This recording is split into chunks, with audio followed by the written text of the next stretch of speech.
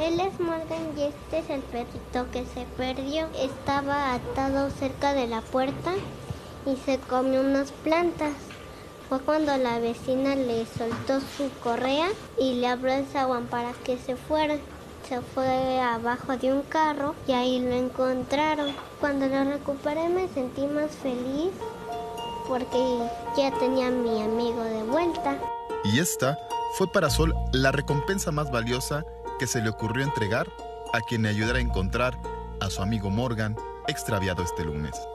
Recompensa chocolate. Él es Morgan y es mi mejor amigo y no tiene mucho que estar conmigo. Es un bebé, te digo. No es mucha la recompensa, trae una pechera por si algo, por favor no te lo quedes.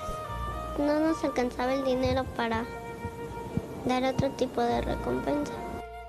El cartel, dibujado por ella misma, llegó a las redes sociales y todos querían ayudar a encontrar a Morgan. Cuando yo le comentó a Sol que se escapó, bueno, que se escapó Morgan, me pidió unas hojas para hacer sus carteles y empezar la búsqueda. Nunca pensamos que fuera así tan, tan viral. De hecho, la habíamos hecho aquí en unas cuantas calles a ver si lo encontrábamos. Dos días después, el miércoles, sucedió lo impensable.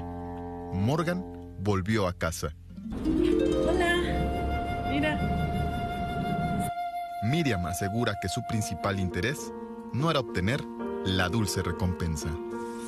Y en el súper veo el, cartelón pegado afuera. Entonces la verdad pues este, sí me sentí triste porque dije, bueno, ya me había encariñado, pero debe de regresar con sus dueños. Ya hasta que ella me dio el chocolate, le dije, no, o sea, ¿cómo crees? No, sí, de verdad, toma. Entonces dije, bueno, lo recibí con el corazón mismo que ella me lo dio. De verdad, es un cheque al corazón. La mala noticia es para quienes creían que aún podrían cobrar la recompensa. La buena noticia es que dos amigos se reencontraron para divertirse lo que resta de las vacaciones de verano. Con imágenes de Julio Montes para imagen, Abraham Nava.